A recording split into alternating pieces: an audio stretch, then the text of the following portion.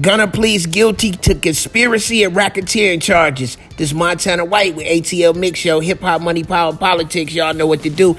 Hit that subscribe button because Gunna is on his way home, according to ATL News. They just put out that Gunna pleaded guilty to racketeering and conspiracy charges and has give, been given time served. Now, Gunna, who's been locked up less than a year for conspiracy racketeering, and other RICO charges, pleaded guilty while the rest of the crew sits in jail. Now, the trial starts in January. So if Gunna pleaded guilty, I just want to, I'm just thinking, like, how does this work? If somebody pleads guilty on the case with you, right? Does that automatically prove your guilt? Or does that free you up to make moves yourself? Now, Gunna, who's, you know, arguably the the one with the least charges, right? No, no, uh, uh, uh, no charges of assault. You know what I'm saying? No, no victims, so to speak of.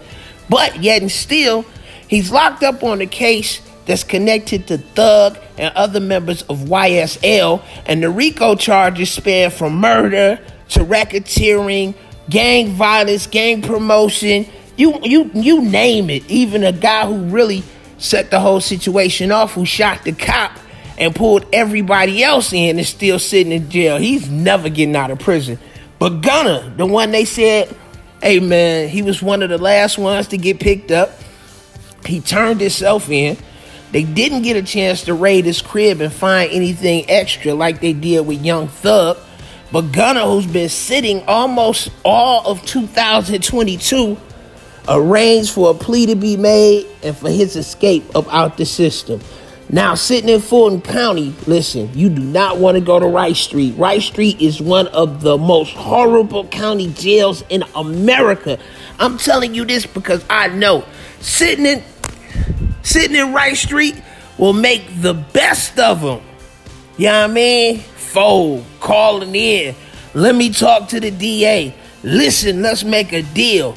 I need a plea. You know what I'm saying? But in in exchange for his plea, right? And this hasn't been said, he could just plead guilty and not say anything about anybody else. Just admit his involvement in whatever they saying he did, not point a finger, take his charge on the chin, and walk up out of there with the felony. Now, a felony on your jacket, when it comes to a person like Gunna who got a bag, the only thing it could really stop is like traveling to other countries where they don't let convicted felons in. But for the most part, it's like having a bad credit score. If you got some money, it really don't matter. You feel me? Now Gunna, yeah, he on his way home, and you know, you know them prices about to jack all the way back up because while he's been locked up, they done had a string, a string of hit records.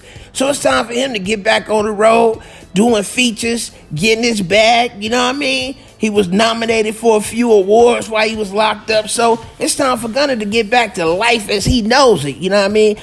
On the other side, the world is watching to see what happens to Thug now because if Gunna pleaded guilty, what you think Thug gonna do? This Montana White with ATL Mix Show, Hip Hop Money Power Politics. Y'all know what to do. Hit that subscribe button. I'm out.